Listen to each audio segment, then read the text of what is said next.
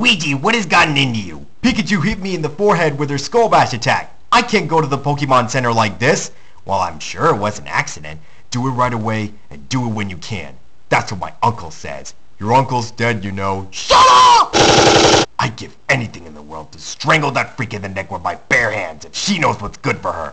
Luigi, eat Snickers. Why? You're becoming more of a one-hedgehog army when you're hungry. Better? Better. Ouija, Ouija, Ouija. Yoshi, this isn't about you. It never bloody is!